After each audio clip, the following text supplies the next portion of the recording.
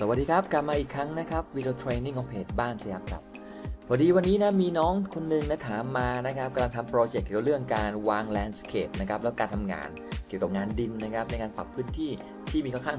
ซับซ้อนเลยนะครับแล้วก็เมื่อวานนี้พอดีผมไปสอนเกี่ยวกับเรื่องการทำถนนนะครับขนาดใหญ่นะครับเอาละเรามาดูคอนเซปต์แล้วกันนะครับวันนี้นะครับว่า SketchUp เนี่ยนะครับมันทำงานยังไงนะครับ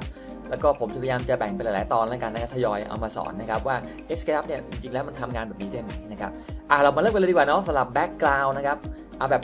คร่าว ๆ นะเป็นแบบว่าคอนเซปต์ก่อนนะครับว่ามันทำงานยังไงนะครับให้ทุกคนเอาไปใช้ประโยชน์นะครับอะเดี๋ยวผมลองกด R สี่เหลี่ยมนะครับที่คีย์บอร์ดนะครับจากนั้นพิมพ์นะ คลิกวางก่อนนะครับจากนั้นพิมพ์เลย 100 นะครับคอมมา100 enter นะ ตรงนี้นะครับเป็น flat นะเป็นแนวราบเป็นแผ่นขึ้นมาราบๆเลย แต่ความจริงแล้วเนี่ยสมมติตรงนี้เป็นพื้นที่หน้างานแล้วกัน ความจริงแล้วนะมันไม่มีทางได้เป็นพื้นที่แบบว่าราบแบบนี้หรอกครับ มันก็ต้องมีพื้นที่สูงๆต่ำๆใช่ไหมตรงนี้เขาเรียกว่า terrain นะครับภูมิประเทศเนี่ยจะเป็นแบบเป็นแบบสูงๆต่ำๆแล้วกันเป็น terrain นะครับก็จริงๆอาจจะมีเป็นเนินลงเขาเป็นห้วยนะครับเป็นเป็นหลุมเป็นบ่อนะครับอะไรพวกนี้นะครับอยู่ ซึ่งตรงนี้เองเนี่ยผมจะอยากจะสร้างมันขึ้นมาเป็นพื้นที่ภูมิประเทศที่สูงๆต่ำนะครับทำยังไง เดี๋ยวปกติแล้วเนี่ยเราสามารถจะเอาไฟล์ AutoCAD เข้ามาได้นะครับถ้าเป็น AutoCAD 3D เนี่ยเราสามารถจะ import เข้ามาได้เลย แล้วก็มาพอ t ได้เลยนะแต่ถ้าเป็น CAD 2D เนี่ยเราก็ต้องเอา Contour นะครับซึ่ง Contour เนี่ยมาพูดคูเองอะเดี๋ยวสมมุตินะครับผมได้ไฟล์ Contour เป็น 2D CAD นะครับมาจากเพื่อนหรือทีมงานนะครับแล้วอยากให้ผมช่วยทำงานตรงนี้ ก่อนอื่นเลยผมกด Freehand และผมก็ลากเลยแล้วกันนะครับ ลากง่ายๆก่อนนะนี้ครับเป็น แนวคอนทัวร์นะครับ ลักษณะเป็นพื้นที่ขึ้นเนิน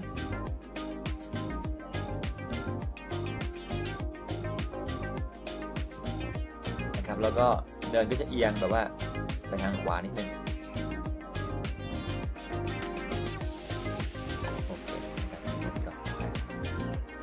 อะประมาณนี้แล้วกันนะครับนะ จากนั้นมานะครับ เราจะต้องนะครับ ใช้คำสั่งอะเดี๋ยวผมก๊อปปี้อย่างนี้มาก่อนนะเปรียบเทียบให้ดูว่าใช้ animation ช่วยนี่มันต่างกันยังไงจากนั้นนะครับเราก็ต้องสร้างเส้นระดับเองนะครับให้ระดับ 3D ขึ้นมานะ โดยกด P พุทพูสมมุติมันต่างกันจุด5ผมผมพุทพูจุด5 enter จากนั้นนะครับผมก็ลากเส้นนี้มาชนตรงนี้นะครับ ดึงขึ้นพิมพ์จุด5ทำนี้ไปเรื่อยๆนะครับ เราก็จะได้นะครับเป็นลักษณะเป็นภูมิประเทศขึ้น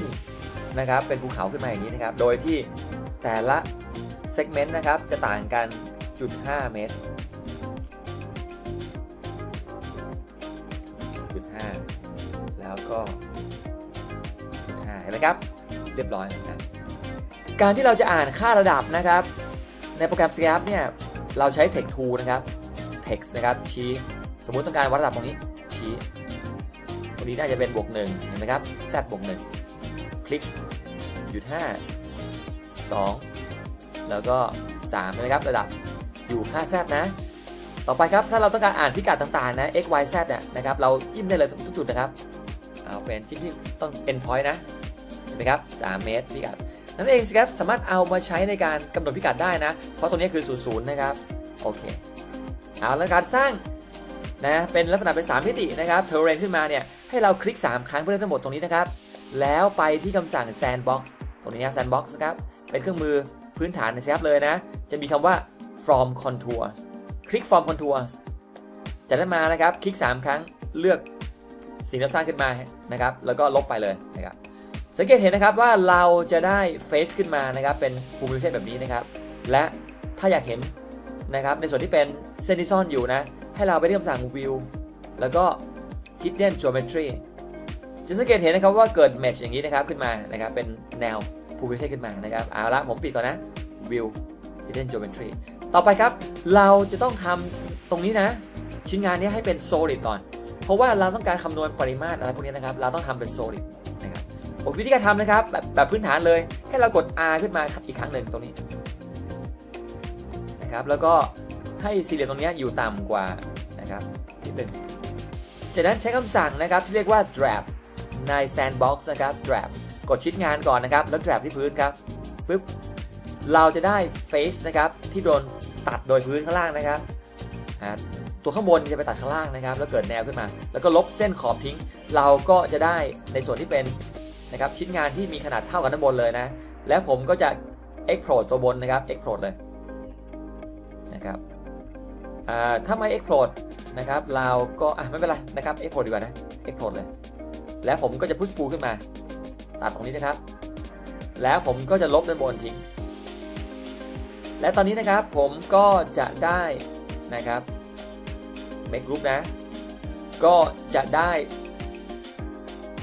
ชิ้นงานนะครับที่มีปริมาตรเรียบร้อยเลยนะครับ และผมเปิด view นะครับ hidden geometry เห็นไหมครับว่าเราจะได้ชิ้นงานเป็น solid ขึ้นมา และตรงนี้นะครับเราสามารถนำไปทำ cut-fill ตัดต่อชิ้นงาน หรือไม่เอาไปวาง งานได้เลยนะนะครับแต่ตอนนี้นะครับมาดูนะว่าปัญหาที่ผมเจอก็คือว่าเครื่องมือธรรมดานะครับ mesh ของมันนะครับบริเวณนี้นะครับลายอย่างเงี้ยนะครับมันไม่เวิร์กเลยนะครับมันไม่ละเอียดอะแล้วมันก็ดูแบบว่าไม่สวยงามนะครับอะเรามาดูนะว่าถ้าเป็นปลั๊กอินเนี่ยมันทำงานยังไงนะครับดูนะครับปลั๊กอินนะครับที่ใช้ในการทำ contour สามมิตินะครับ ผมเรียกว่าเป็น terrain ดีกว่านะภูมิประเทศ3มิติดีกว่านะครับนะ โดยดึงข้อมูลคอนทัวร์ 2D เข้ามานะครับ เราใช้ TopoShaper ครับบริเวณนี้ TopoShaper นะครับ เดี๋ยวผมทำลิงก์ให้โหลดไว้นะครับ วิธีการก็คือให้เราเลือกทั้งหมดนะ แล้วกดตรงนี้ครับ TopoShaper Generate Quad Mesh นะครับปึ๊บมันก็จะนะครับไป analyze เส้นให้เรานะครับ และตอนนี้ผมมาที่คำสั่งที่เรียกว่านะครับ edit set attitude ก็คือระดับนะครับ set คือการกด edit set นะครับ ตอนนี้ผมสามารถจะกำหนดจุดเริ่มต้นได้นะครับ เอาล้วผมขอให้เส้นเนี่ยมันต่างกันทุกๆจุด5แล้วกดโอเค โดยเริ่มจากศูนย์นะครับจุด5เอาละผมคลิกเส้นแรกก่อน เส้นนี้คือศูนย์คลิกจุด5 1 1.5 2 2.5แล้วก็3เมื่อได้แล้วนะครับ ผมสามารถที่จะกด enter แล้วมันก็จะเจนนะครับให้ผมเลย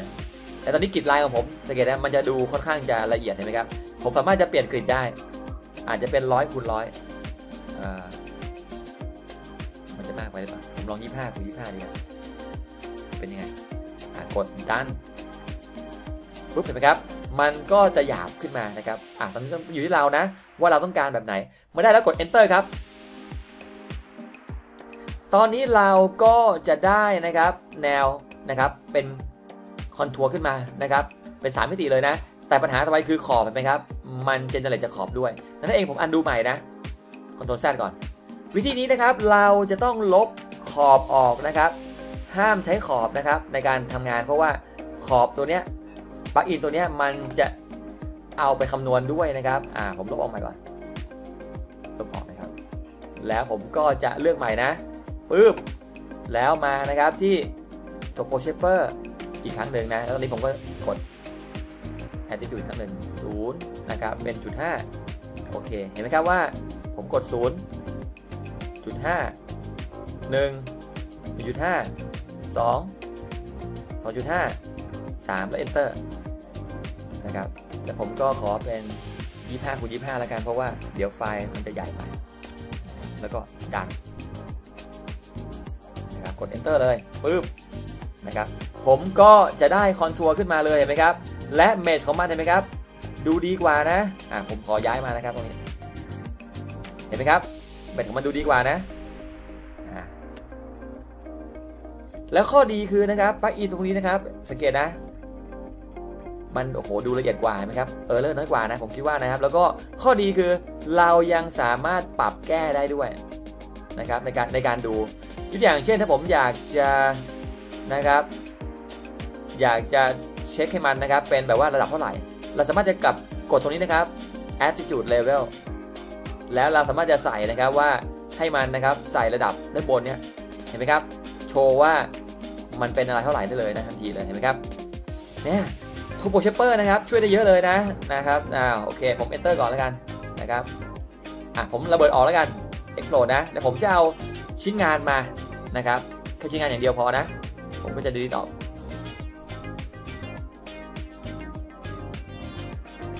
ผมชิ้นงานออกมา ผมก็ลบไปทิ้งไปเลยนะ ไม่เอาละเรียบร้อยครับ สังเกตเห็นนะครับว่า ผมจะได้ชิ้นงานที่ดีกว่านะครับ นั้นจำไม่ดีนะครับ ถ้ามืออาชีพแนะนำให้ใช้ TopoShaper เพราะว่าชิ้นพวกนี้ผมเดี๋ยวทิ้งไปเลยนะไม่เอาแล้วนะครับ อาแล้วต่อไปครับผมจะสร้างปริมาตรชิ้นงานตัวนี้ขึ้นมานะครับทำยังไงง่ายมากๆนะครับ ใช้ Eneroth นะครับ กดชิ้นงานนะ extension แล้วไปที่นะครับบางอีตัวนี้ดีมากนะ e n r o d terrain volume นะครับ กดคลิกอ๋อต้อง make group ก่อนนะครับ ผม make group ก่อน โอเค คลิกนะครับ extension e n r o d terrain volume ปึ๊บเห็นไหมครับ มันก็จะสร้างนะครับชิ้นงานให้เราขึ้นมาอย่างนี้เลยนะอ่าผมไม่โหลดไปด้วยนะครับ e n r o d terrain volume นะครับไม่ยากนะครับ และมี form contour ครับ extension contour และผมขอให้เป็นจุด25 นะ spacing กดโอเคปึ๊บเรียบร้อยครับ ผมก็จะได้ terrain ขึ้นมานะครับ และก็มีนะครับเป็น3มิติแล้วก็มี contour ด้วย และตรงนี้เองครับมันแบ่งเลเยอร์ให้ด้วยนะครับเห็นไหมครับแบ่งเลเยอร์ให้ด้วย โดยที่ผมเองเนี่ยสามารถที่จะ